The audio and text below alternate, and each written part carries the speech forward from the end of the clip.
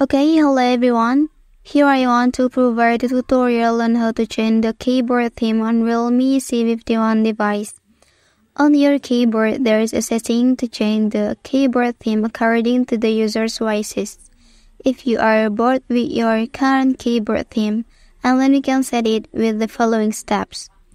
Okay, please click the painting icon at the top of the keyboard, and then here you can choose one of the keyboard themes you want. However, if you want to change the keyboard theme with your own photo, and then you can tap the plus icon, and then here please choose the image you want, and adjust it to the size of your keyboard, and then click next. After that, here you can also adjust the brightness of your keyboard, and then click down.